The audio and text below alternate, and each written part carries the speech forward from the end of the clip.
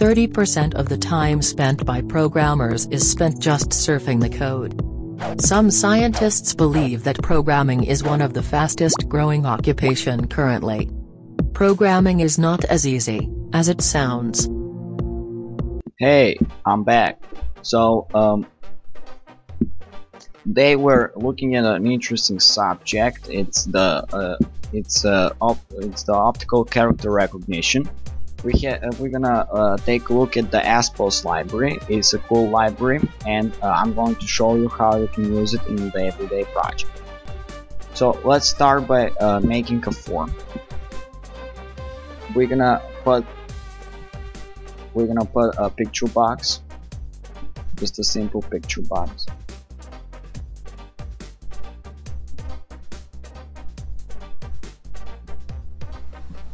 A bit but 500 by 500 we're gonna make because I have a picture with this 500 by 500 and I want to see it in a clear detail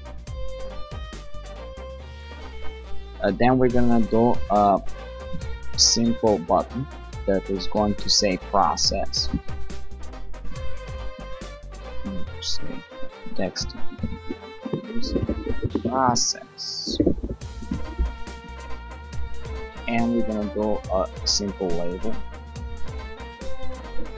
Text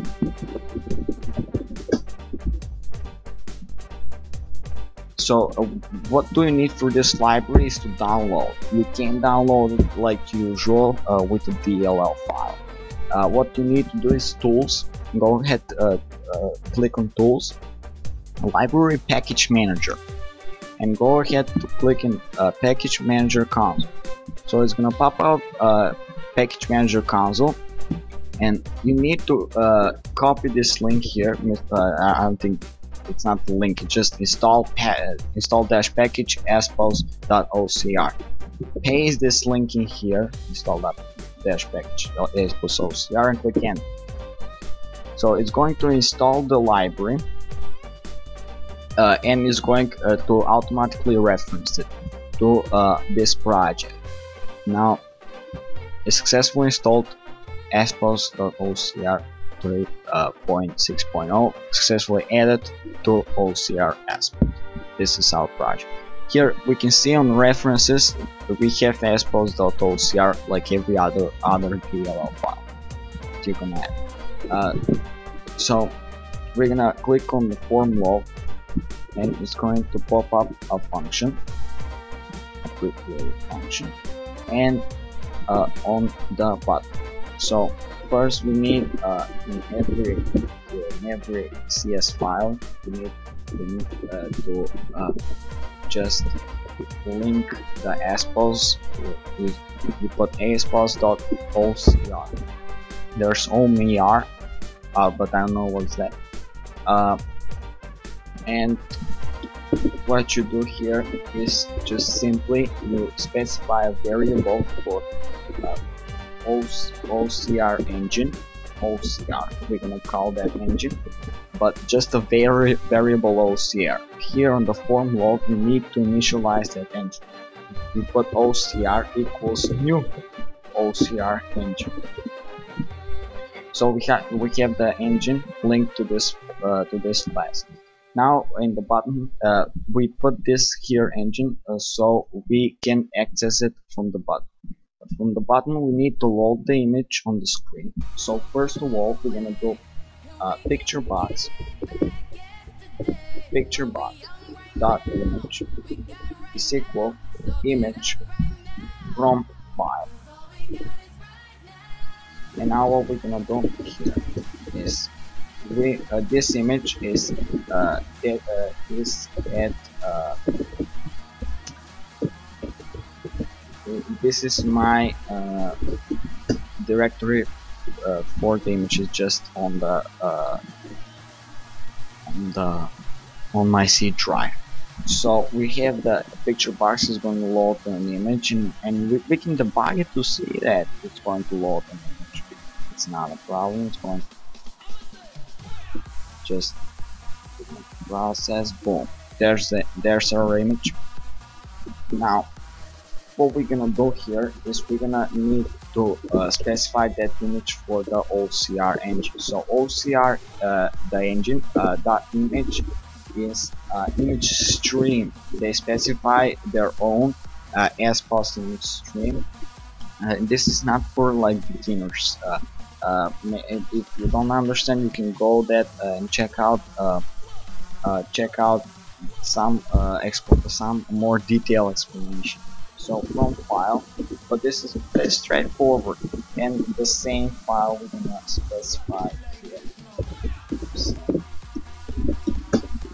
Uh, if you want uh, from the executable directory, you just need uh, to add here uh, using uh, system.io and what you need to add here is uh, for example if this is the image you want for the executable directory you will add um, system.io directory dot get current directory get current directory and this will get the current directory that uh, is the executable in and then just plus uh, this image here plus like this no current directory you're gonna try it and, and uh, it's going to show you the image if it's on the current directory that is the executable in but our image is in the C drive. So we don't need that system.io. So OCR image, we we we, uh, we uh, put the image to the OCR engine. Now we need just if OCR. We can do the if OCR process. So it's going to return a successful or unsuccessful bool. So if that OCR process true, now we're gonna do here the label label one so label one dot text is equal I think it should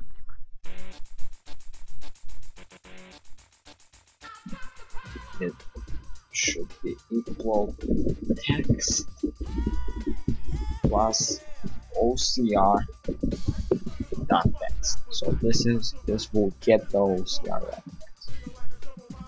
So process if it's successful dot text text OCR text. Uh, let's let's uh, this this pretty much it. Just this these three lines of code and you have already used those. So as you can see, as you can see, it processed and did. Uh, so here it didn't understand.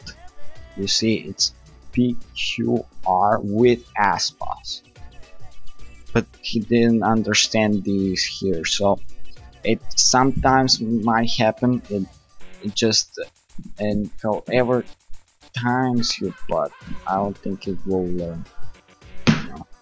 So this is it we're gonna try uh, there's I'm going to upload a video uh, how how could you uh, get that to grayscale.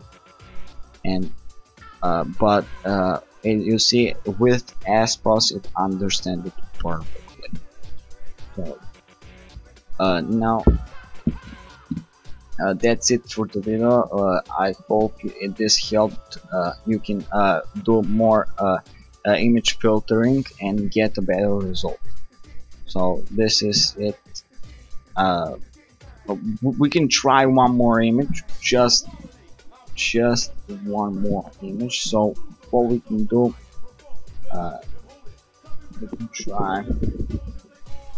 I don't want to see what that I don't think it would understand because OCR it's not a word from, from the live so Oh no. Uh, let's see. Save this image. Save this. Computer. Save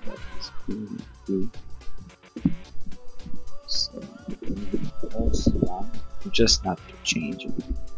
Uh, oh network computer oh you, you can't actually do that so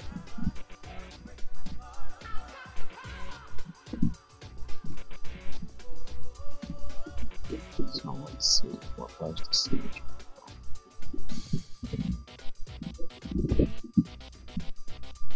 now copy in place.